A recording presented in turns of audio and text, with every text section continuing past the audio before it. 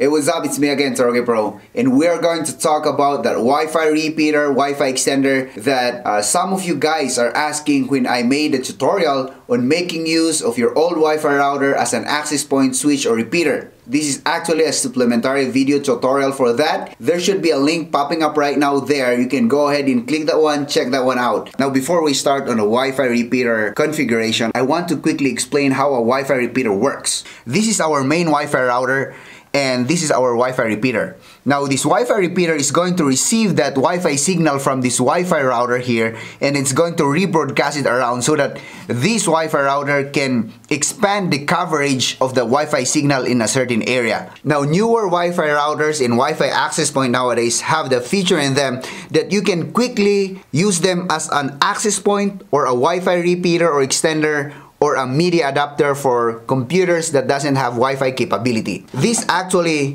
is uh, a Wi-Fi access point but it can do one of these things at one time. So you can use it as an access point or a repeater or extender or a media adapter. Now even this one, this uh, Wi-Fi router I have here, it's an ASUS and it has been with me for the last three years. It also have the feature I'll show you in my screen right now which operation you want it to be.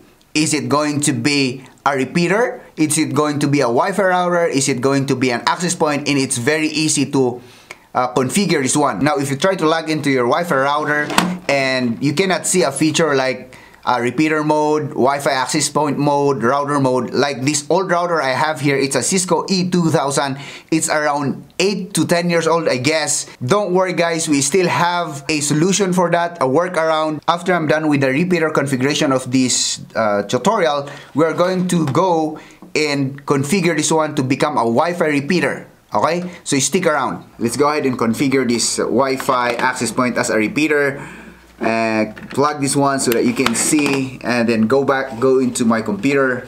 Now that I'm on my computer I want to check the IP address so that we can connect to this access point. Adapter and then property status details. Okay so the IP address of this one is 192.168.0.254 close close. We can close that one close that one. And go to our web browser 192.168.0.254 enter. I haven't configured this one so the default username and password should be admin and add admin. Alright good we're in. And then like what I've said it's very easy to configure this one. Let's go ahead on operation mode. Is it going to be an access point repeater client or multi SSID since we're talking about a repeater we're going to click on repeater and then save okay? Uh, this will reboot itself. We're going to wait for that one. So there's actually a quick explanation here on your right pane and then you can read that one and try to understand which application you want to use. Since this is already a repeater we need to connect this one to our main router. So we go to our wireless. So the SSID to be bridged, this is our main router. So if you do not know that yet, you can click on wireless scanner to scan that one and it should show us. So our main router is this one, Brent the Great. And we can slide this one over. We can select Brent the Great, connect. You can see it here, Brent the Great in the MAC address and then the security type. I'm going to put in my password and then save this one. Once this is going to be saved, this will already be a repeater. Let's go to status. We have the repeater here and then you can see it's connected to Brent the Great. I'm going to get my phone and try to scan the network and try to see if there are two Brent the Great that is being broadcasted so that you can see. Now for us to check if our Wi-Fi repeater is working, I have downloaded a Wi-Fi analyzer. You can download that one also from Google Play. It's a free download. We can open this one. This one, Brent the Great. Huawei, it has a lower, uh, the broadcast of the signal is lower. This is the main router. And then we have the Brent the Great that is full bar. This is the repeater. We can also go and check on the graph here. So you can see it here guys on the app of the Wi-Fi analyzer on the channel graph. We have two signals. We have the Brent the the first one, and then we have the Brent the Great, the repeated signal. So that's how you can check that one quickly. Okay guys, since we have configured this one as our Wi-Fi repeater, you have seen that one already, but if you do not have the feature in your Wi-Fi router like I have here, mostly old routers, we're going to change the firmware of this Wi-Fi router so that we will have the capability to make it as a Wi-Fi repeater. So let's get into my screen right now and start doing that one. I'll just plug this one and the next thing you'll see is my screen. Let's get started. We'll just check again our Wi-Fi adapter to make sure that we know what we're dialing in. And change adapter settings, uh, right click here status. And then the IP address of this router is 192.168.1.1 that's what we're going to use on our web browser. Okay that's 192.168.1.1 let's log in admin admin that's the default password. And if you try to see here there are no options for us to kind of select the operation mode of this router. There is actually an open source firmware for routers. The name is DDWRT we go to Google type in DDWRT this is the open source firmware that we can use. Click on DDWRT and then we go for downloads. You type here the model number of your router. For me, it's actually E2000.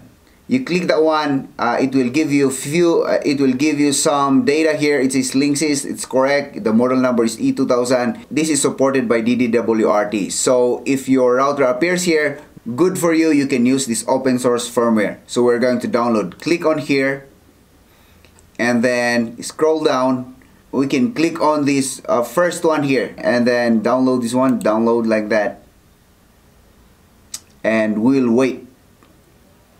This will be quick. Now that it's done we're going to locate where this is show in folder and then we copy this one.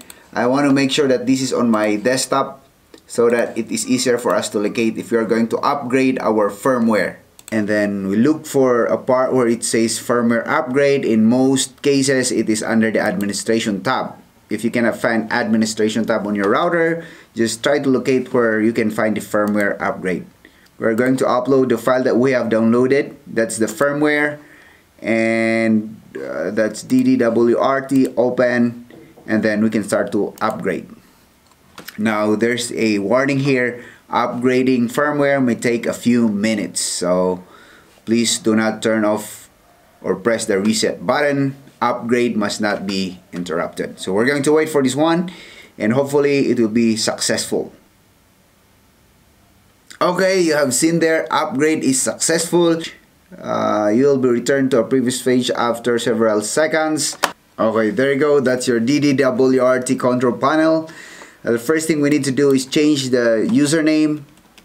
I'll change it with what I have here. Let's say I'll just say admin uh, so once you have changed your password, you'll be directed to this page. This DDWRT is kind of feature rich open source router firmware so you can do a lot of things with this one. It will actually unlock a lot of features for your router. But for now, we are mainly focused on the Wi-Fi repeater itself. Since we are in this um, page right now, um, we can actually check on the wireless tab here and try to see the difference. Once you click on the tab there it will require us to log in. So I'll log in like that and of course like that sign in we can choose this one to become uh, access point client bridge or repeater repeater bridge. But before we can do that one there are a few configurations we need to do first before changing this one. And we need to start on the setup page so that this will become a Wi-Fi repeater. First we need to disable the WAN connection because this will become a repeater. We need to disable this one. Disable. And then here in the router name uh, you put the name you want to. I'll just put this one as repeater and we scroll down. The router IP uh, should not be the same with the IP address of our main router. So let's just say the main the IP address of my main Wi-Fi router is 192.168.1.1 I'll just go with 1.10 because having two same IPs in one network will cause issues in your network. And our DHCP server should become DHCP forwarder because we are not going to provide DHCP uh, IP address to our clients. So we'll put the one there. And the DHCP server should be the IP address of our main Wi-Fi router. So we'll put it here. 192.168.1.254. We're going to apply this one. Okay. So the next one we're going to do is go to security page here. If you try to see, we got disconnected because we changed the IP address of the Wi-Fi repeater. So we need to change this one with that 10 because we changed the IP address of this one as that 10. So there you go, we're back again. Um, let's go back to our security tab and then uh, it will require us to log in again. We enter that one okay? So we need to disable the SPI firewall and that's it. Uh, apply and then let's wait for this one. Make sure to save this one. After doing that one it's time to go to your wireless settings. We can set this one as our repeater bridge we go to repeater bridge and then this network SSID should be exactly the same with our main Wi-Fi router. So let's say SSID of the main Wi-Fi router. So that's it. And we can apply this one also. Apply. Okay after doing that we go to wireless security tab and then uh, put on security mode uh, we are going to click on this one and then we put on the password the same password with our main Wi-Fi router. Apply. We're going to save it. Now it's done. Let's go to status and go to wireless and then you can see it here. Radio is on. Repeater bridge. The SSID is Brent the Great and uh, we have the encryption there the same. So this is actually the Brent the Great our main Wi-Fi router. The signal we are receiving from this Wi-Fi router is actually 52% so anyways that's good enough. We are able to configure this one as a wireless repeater. So that's how to set up your old Wi-Fi router as a wireless repeater uh, if it's your first time here on my YouTube channel and if you want to learn more about things like this, don't forget to subscribe, like my videos, and share it with your friends. Until next time, this is Torogi Pro.